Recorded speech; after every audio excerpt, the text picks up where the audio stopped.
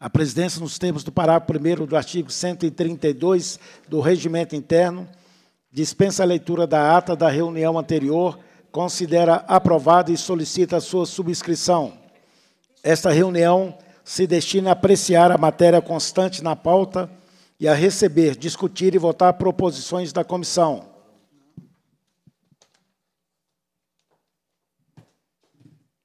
Segunda parte da ordem do dia. Passa-se a primeira fase da ordem do dia, que compreende a discussão e a votação de pareceres sobre proposições sujeitas à apreciação do plenário.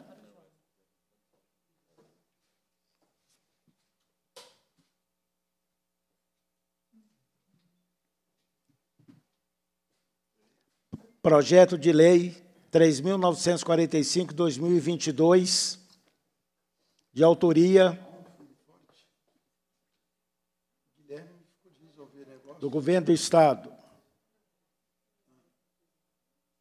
Já é né? Relatoria, deputado Zé Guilherme.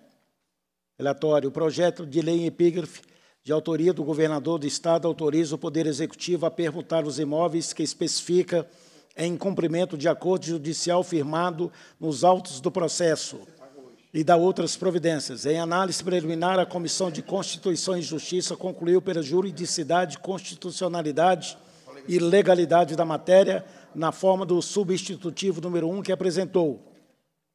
Na sequência, a Comissão de Administração Pública opinou pela aprovação da proposição e acompanhou o posicionamento da comissão anterior. Vem agora o projeto a esta comissão para dela receber parecer nos termos do artigo 188, combinado com o artigo 102, sétimo do Regimento Interno. O projeto de lei em análise pretende autorizar o Poder Executivo a permutar parte dos imóveis de propriedade do Estado por parte de um imóvel de propriedade da empresa Grande Werneck em cumprimento de acordo judicial. Após efetiva a permuta, o imóvel recebido poderá ser doado ao município de Belo Horizonte para a realização de regularização fundiária urbana e a implementação de áreas institucionais municipais. A proposição também estabelece que, quando da celebração da permuta, serão realizadas novas avaliações dos imóveis e somente serão permutadas áreas dos imóveis de propriedade do Estado cujo valor de mercado seja equivalente ao da parte do imóvel da propriedade da empresa Grande Avernec S.A. Por fim, o imóvel será revestido ao patrimônio do Estado caso o município de Belo Horizonte, no prazo de cinco anos contados da lavratura da escritura pública, não o tenha destinado à regularização fundiária urbana e à implementação de áreas institucionais municipais. Em sua análise preliminar, a Comissão de Constituição e Justiça considerou que a proposição atende os requisitos de iniciativa e aos pressupostos constitucionais e legais de regência da matéria Contudo, no intuito de promover aprimoramentos no texto, adequando a redação às diretrizes de direito público e a técnica legislativa, apresentou o substitutivo número 1, o qual também identifica com exatidão os imóveis objeto da permuta. A Comissão de Administração Pública destacou que o projeto atende aos interesses da coletividade na medida em que busca solucionar o problema fundiário e social relativa à mencionada ocupação, na qual vivem milhares de famílias. Dessa forma, opinou pela aprovação da matéria e acompanhou o posicionamento da comissão anterior. Do ponto de vista financeiro e orçamentário, aspecto que compete a esta comissão analisar, verificamos que a aprovação do projeto em tela não gera custos ao erário.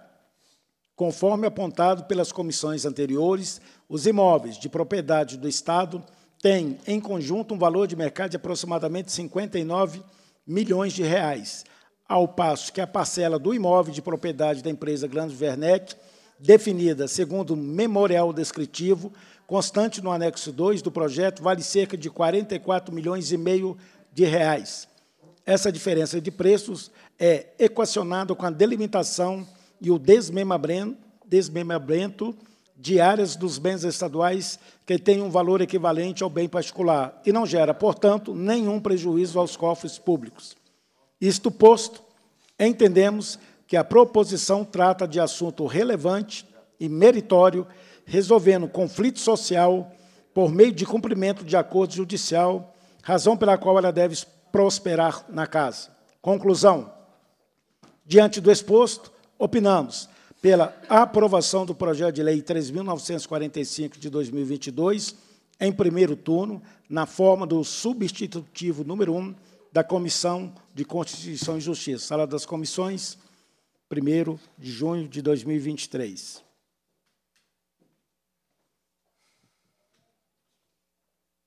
Em discussão, o parecer. Encerra-se a discussão. Em votação, o parecer. Os deputados que o aprovam permaneçam como se encontram. Está aprovado o parecer. Passa-se a terceira fase. Ah, tá bom. Projeto de Lei 7.767, 2023, primeiro turno, retirado de pauta por falta de pressuposto. Passa-se a terceira fase da ordem do dia, que compreende o recebimento, a discussão e a votação de proposição da comissão.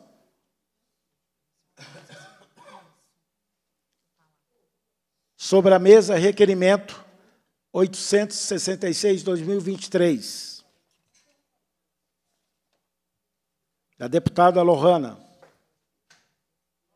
A deputada que subscreve requer Vossa Excelência, nos termos do artigo 100, nono, artigo 233, 12 do Regimento Interno, seja encaminhada ao Secretaria de Estado de Planejamento e Gestão, pedido de informações acerca do projeto de lei número 415/2023, que fixa os subsídios do governador e vice-governador, do secretário de Estado, secretários adjuntos de Estado, nos termos do inciso 21 do artigo 61 da Constituição do Estado e considerando a determinação contigo no artigo 16 da Lei de Responsabilidade Fiscal solicita Seja informado para fins de instrução, PL 415-23 foi elaborado de forma prévia estudo da estimativa do impacto orçamentário financeiro, num exercício em que deve entrar em vigor e nos dois subsequentes, discriminando-se as premissas e metodologia de cálculos utilizadas, e sim, que sejam disponibilizado o referido documento, senão qual a perspectiva de encaminhamento, tendo em vista sua ausência,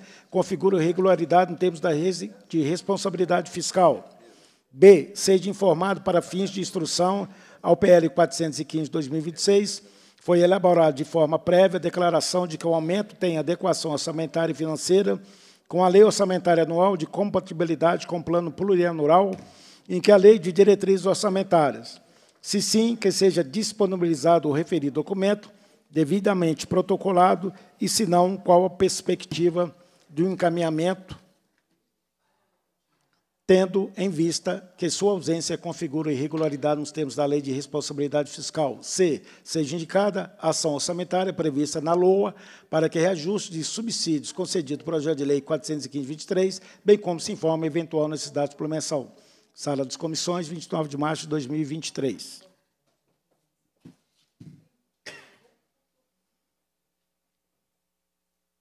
Em votação, o requerimento.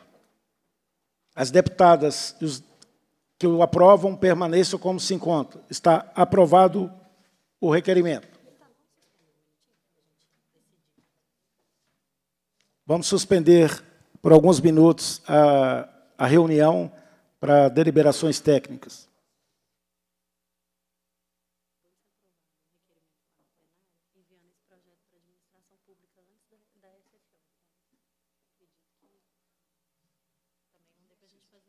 E outra às 14 horas, com a finalidade de apreciar o projeto de lei 767-2023 em primeiro turno.